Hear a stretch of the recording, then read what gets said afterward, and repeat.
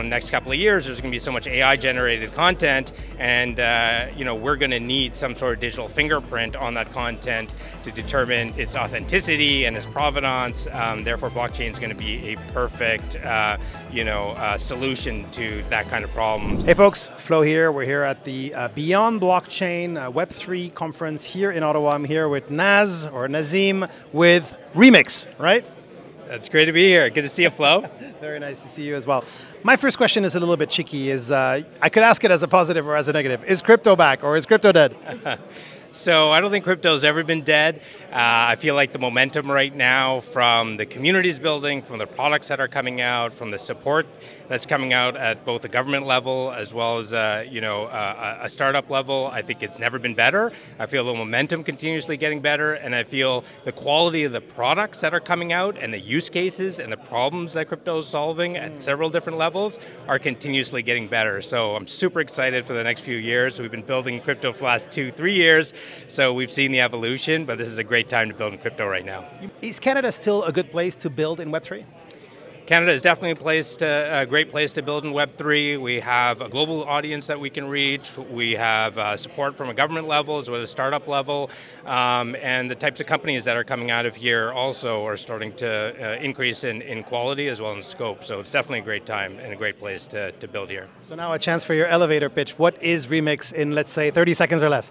Yeah, so Remix is a platform that allows creators uh, to offer free digital collectibles to their collectors um, that unlock digital and physical goods, and brands are able to sponsor these drops, uh, but 80% of uh, the brand sponsorship, 80% of the funds actually go out to the community. 40% to the creator that leads the drop, and then 40% dropped in all of the collectors that mint the free NFT. So basically, we're allowing collectors to get paid to engage with branded content, and we're allowing brands to reach out to a crypto native audience and support the creative community. So all three parties are really winning. That sounds awesome. It sounds like a marketplace, basically, a place where the creators meet with the buyers, meet with potential sponsors. Um, has it been hard to build? Uh, so we've been building this platform now for a couple of years. Um, when we first started out, obviously, you know, issuing free NFTs was very difficult because uh, at a time we were built on Ethereum mainnet, um, and you know, gas costs were very high, so that business model didn't work. We then moved on to Polygon. Polygon allowed us to do, you know, free mints, so the infrastructure continuously got better.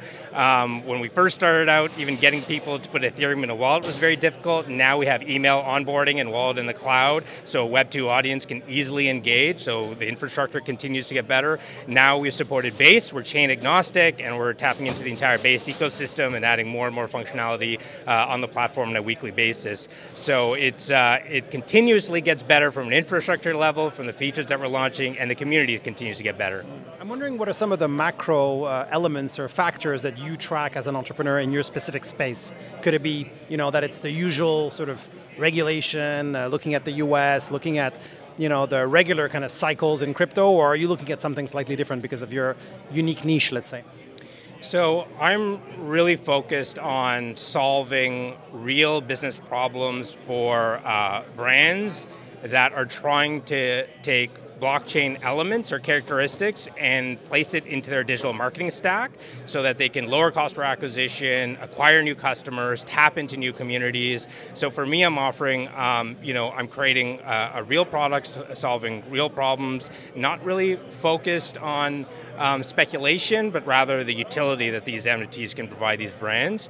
Um, so it's, uh, uh, it's, it's been a really great experience so far, and, and the timing is right for something like this. So Naz, you've been building for several years already. You've seen the ups and the downs, let's say, of the NFT market. What do you see on the horizon in terms of trends and perhaps new use cases? Yeah, so the way we look at NFTs is it's an engagement method. It is a um, you know, a technology that can build uh, communities that other communities can tap into and can collaborate with. They're digital keys that unlock all sorts of different perks and and uh, uh, different doors that uh, uh, you know can be rewarded to users. So for me, NFTs are just a technology. Um, you know, I don't really focus on the speculation of it. I focus on the utility of it, and I'm very excited about you know the use cases that's going to develop over the next several years. And I guess having Larry Fink talk about tokenization, uh, you know, as if now it's a given and something to stay, that does help the case for NFTs as well. Yeah, having large organizations like that just putting a stamp of approval that this technology isn't going anywhere, tokenization of real world assets uh, helps the narrative also. Um, and I'm actually really excited about uh, how in the next couple of years there's going to be so much AI generated content, and uh, you know we're going to need some sort of digital fingerprint on that content to determine you know its, its authenticity and its provenance. Um, therefore, blockchain is going to be a perfect uh, you know uh, solution to that kind of problem. So um, blockchain is not going anywhere in terms of use cases. Sounds great, and NFTs either. And uh, regarding Remix specifically, anything lining up? Any uh, projects on the horizon?